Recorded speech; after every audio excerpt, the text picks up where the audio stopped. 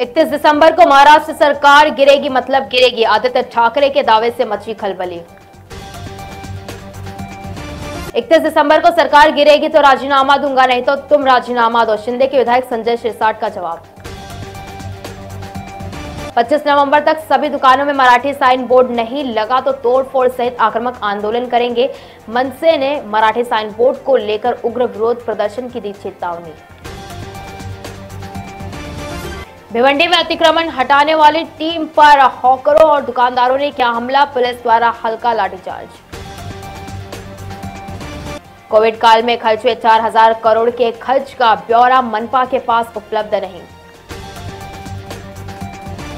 मुंबई ठाणे पालघर में 24-25 नवंबर को बेमौसम बारिश की संभावना, मौसम विभाग ने जारी किया yellow alert. Covid body scam को लेकर बीएमसी की पूर्व मेयर किशोरी से छह घंटे तक चली ईडी की पूछताछ। मुंबई अहमदाबाद राष्ट्रीय राजमार्ग पर भयानक दुर्घटना, ड्राइवर के नियंत्रण खोने से हुआ भयानक हादसा, तेज रफ्तार कार टैंकर से टकराई पाँच साल के बच्चे समेत तीन की मौत। मुंबई एयरपोर्ट पर मॉकड्रिल कंडक्ट किया गया, डमी एयरक्राफ्ट जलकर इमरजेंसी रिस्पांस की जाँच की गई।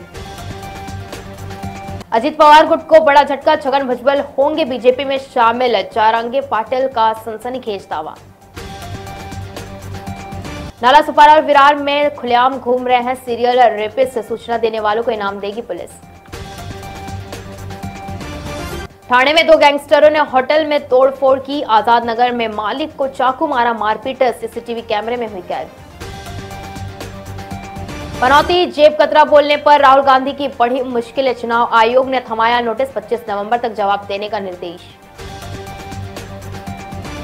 ठाणे में 15 फुट गहरे नाले में गिरा 60 वर्षीय व्यक्ति बचाया गया। मुंबई में बहुमंजिला इमारत में लगी भीषण आग 135 लोगों को सुरक्षित निकाला गया। मुंबई की सात लाख दुकानों में से केवल अट्ठाईस हज़ार दुकानों पर मराठी बोर्ड है। सोमवार को होगी कार्रवाई, लगेगा पाँच सौ रुपए का जुर्माना। मुंबई में एक तरफा प्यार के पागल किन्नर ने लगाई फांसी। बॉयफ्रेंड को दूसरी लड़की के साथ देख टूटा था दिल। पीएम मोदी ने मथुरा में 525 का सिक्का किया जारी।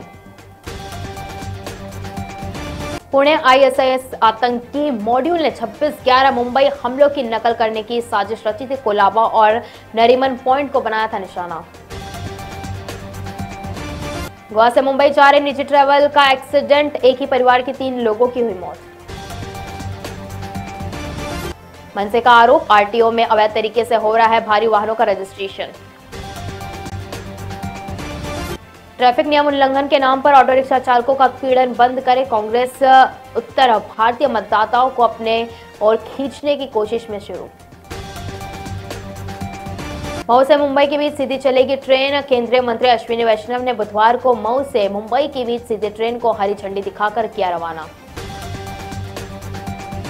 मुंबई में आज सोने के दामों में गिरावट देखी गई। सोना से इकसठ हज़ार नौ सौ सत्तर रुपए तोला।